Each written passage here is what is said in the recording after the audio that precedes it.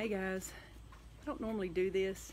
Um, occasionally I'll read a Bible story and post it on a, a ladies Bible class group page, but um, I feel really weird about making videos of myself talking, but I know a lot of times people tend to, especially in this day and age, will watch a video and will listen to a video uh, before they'll actually read stuff. I guess it's just human nature to be lazy, I don't know, but anyway, came across something um, I was out on my lunch hour, waiting in line at the fast food place to get my food, and just scrolling through Facebook and um, looking at the my doggies. Um, but I was looking at the uh, again scrolling through Facebook, stumbled across uh, some news article and was reading some comments and about the state of affairs in America today, and, and it, it just really makes me sad. But um, someone mentioned that um, I think their comment was something like the words of the, the naked communist are, are coming to be. And I thought, what? So um, did a little bit of Googling and realized that there was a book written by a man named Cleon Skousen. He, Mr. Skousen was an American citizen. I think he was a member of the FBI, but he um, don't know much about the guy. But I did Google something and I printed this off um, to look at a little bit closer when I got home tonight. And I've done that. And I just want to share some stuff with you guys that you may not know. Um, I hope we can all agree, or most of us can agree, that communism never ends well. Um, if you don't believe me, just look at history, look at all the communistic countries, and look at what communism has has done for them. Uh, anyway, just wanted to read, I'm not going to read all of these, but I highlighted some points because this was read apparently um, current communist goals. And this was read in January of 1963. This is even before I was born.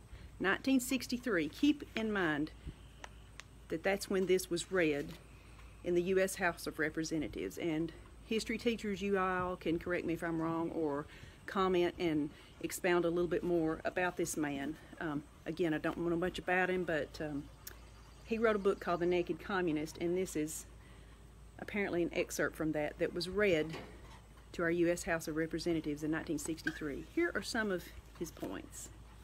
Current communist goals. These are goals of the, of the Communist Party. Number six, provide American aid to all nations regardless of communist domination.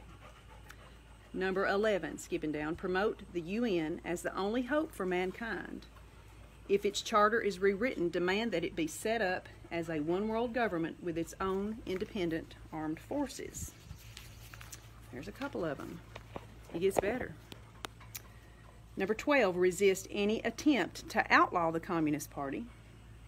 Number 13, do away with all loyalty oaths an oath. I hope you know what an oath is. Like when someone takes office, they swear by an oath or affirm by an oath. It's like a promise. Loyalty. What popped in my mind was the Pledge of Allegiance.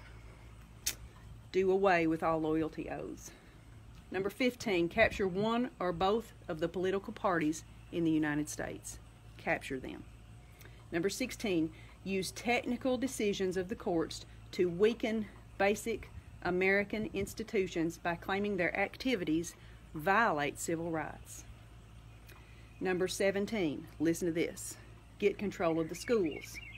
Use them as transmission belts for socialism and current communist propaganda.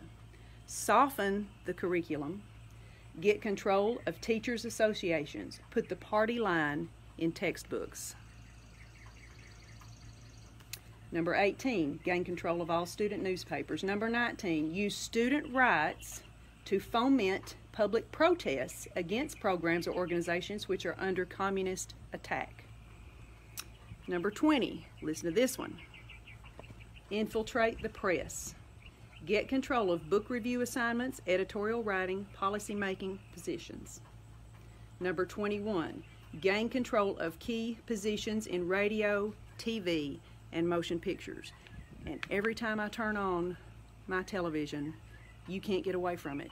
Even the late night comedians who are supposed to be entertaining us with comedy, it seems like they're going to bust if they don't have something political to say. Number 22, continue discrediting American culture by degrading all forms of artistic expression. An American communist cell was told to, quote, eliminate all good sculptures from parks and buildings, substitute shapeless, awkward, and meaningless forms, end quote. Number 23, control art critics and directors of art museums. Our plan is to promote ugliness, repulsive, meaningless art. And I have seen a little bit of that.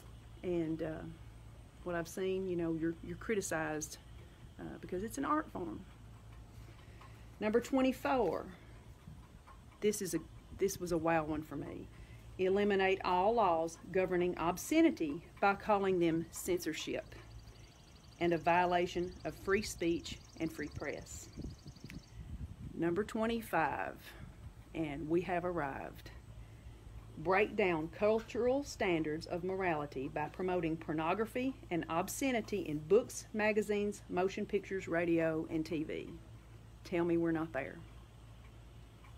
Number 26, present homosexuality, degeneracy, and promiscuity as normal, natural, and healthy. Number 27, infiltrate the churches and replace revered religion with social religion. Discredit the Bible and emphasize the need for intellectual maturity, which does not need a religious crutch. These are goals of the Communist Party. Keep this in mind. Number 28, eliminate prayer or any phase of religious expression in the schools on the ground that it violates the principles of separation of church and state.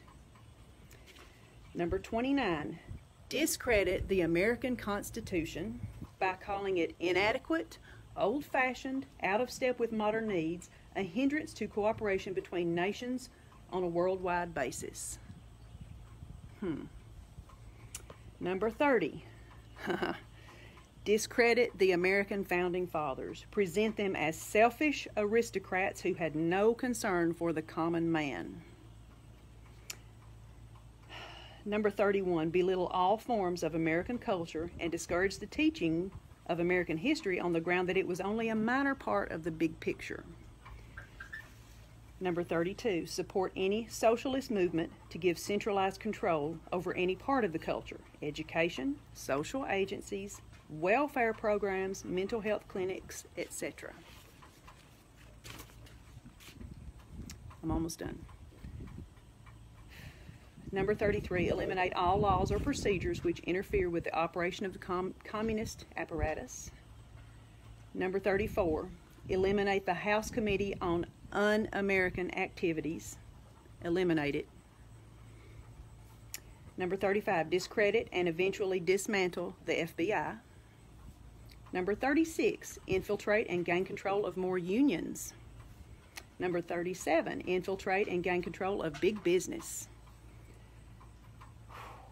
Number 38, transfer some of the powers of arrest from the police to social agencies.